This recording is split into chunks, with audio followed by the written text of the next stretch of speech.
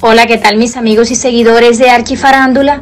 Les comento que el desafío ha conseguido durante años un importante lugar en la televisión colombiana como uno de los realities más queridos y favoritos por los colombianos, motivo por el que en cada temporada suele llevar el primer puesto en rating.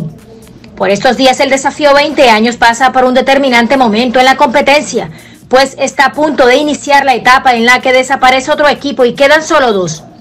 Previo a esto se vivió un desafío a muerte en el que cuatro mujeres se enfrentaron en el box negro.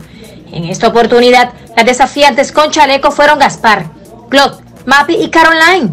Las cuatro mujeres dejaron todo en la pista para demostrar que merecían seguir en competencia, pero como era inevitable, una de ellas tuvo que despedirse de la ciudad de las cajas.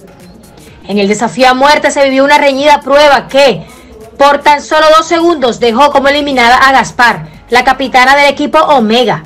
La salida de la paisa dejó sorprendidos y muy tristes a sus compañeros, pero también a los televidentes, pues pese a que la mujer llevaba la delantera durante toda la prueba, perdió al último segundo. De inmediato usuarios en redes sociales reaccionaron a la eliminación de Gaspar, varios de ellos expresando su inconformidad, pues para muchos ella era una de las mujeres más fuertes y que veían como posible ganadora.